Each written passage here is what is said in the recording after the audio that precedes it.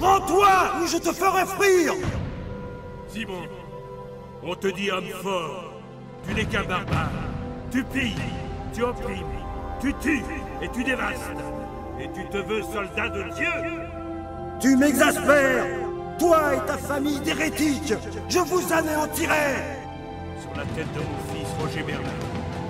Tu pourriras ici Sale barbe du Nord Notre terre occitane te fera payer tes carnages.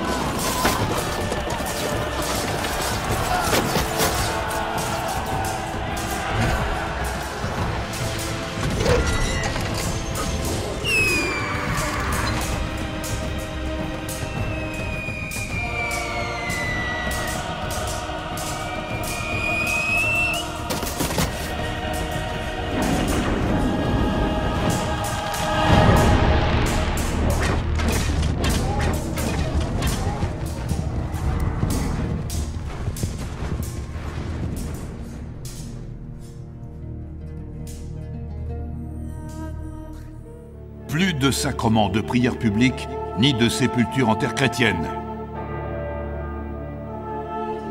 Plus de commerce avec les fidèles, ni de bénéfices ecclésiastiques.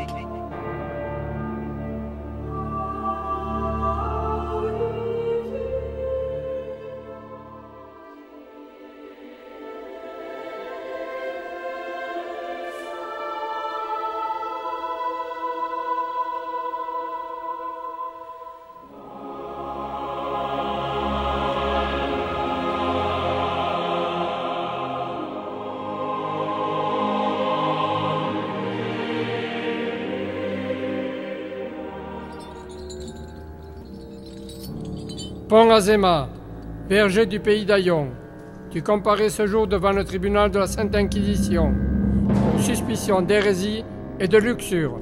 Je suis bon chrétien, catholique. Je paye les dîmes et les prémices. Je fais des pèlerinages. On dit que tu connais des hérétiques. Dans le pays, qui n'en a pas connu? Tu avoues donc Tu les connais.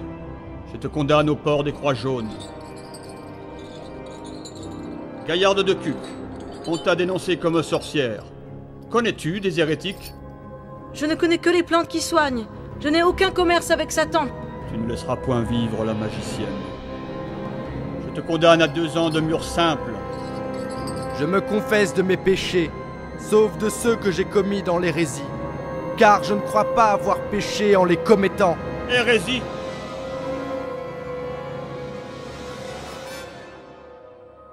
Autrefois, mon fils portait des victuailles aux bons hommes dans une besace. Il ne me demandait aucune permission pour cela, parce qu'il était le maître de ma maison. Un homme de chair qui fait des excréments ne peut pas sauver mon âme Blasphème Qu'on l'enferme Qu'on saisisse ses biens Regarde la vérité en face, Jacques Fournier. Il y a deux églises. L'une fuit et pardonne, l'autre possède et écorche. Qu'on fasse évacuer la salle Hérétiques Ils sont tous hérétiques Oh mon Dieu Comment laver ces terres de ces idées impures?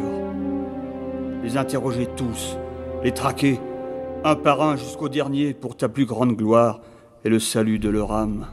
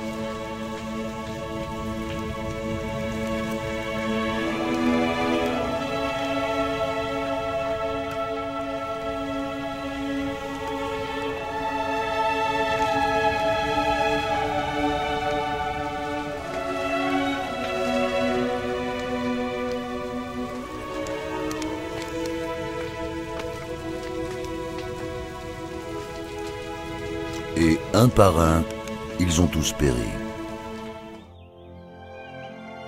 Après plus d'un siècle de tourmente, tel un phénix immortel, l'espoir renaît. Le pays se reconstruit. Mais ces heures légères ne vont pas durer. Le comté de Foix est désormais allié à la vicomté de Béarn et Bigorre par le mariage de Roger Bernard III et de Marguerite de Montcade. Ce territoire immense et morcelé s'étend entre suzeraineté française et possession anglaise. Une position bien délicate à tenir en ce temps-là. En 1337, le roi d'Angleterre prétend à la couronne de France. Un nouveau siècle d'horreur s'avance. On l'appellera la guerre de Cent Ans.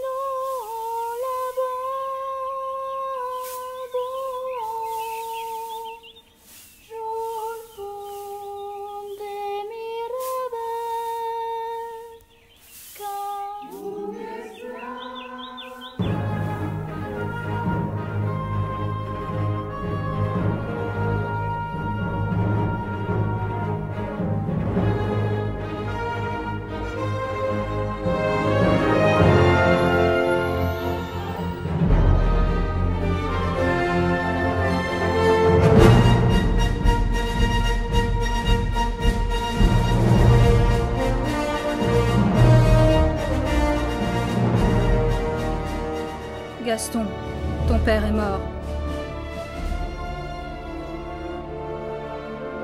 Gaston III, comte de Foix-Béarn. Gaston, tu es si jeune, et ton territoire est si vaste. Certains pourraient essayer de se l'accaparer. Ils voudront le dépecer. T'en fais pas, mais qu'ils y touchent Dès la Noël passée, nous partirons. Que tout soit prêt. Nous visiterons chaque domaine de Foix et de Béarn. Gaston doit recevoir le serment de fidélité de tous ses vassaux.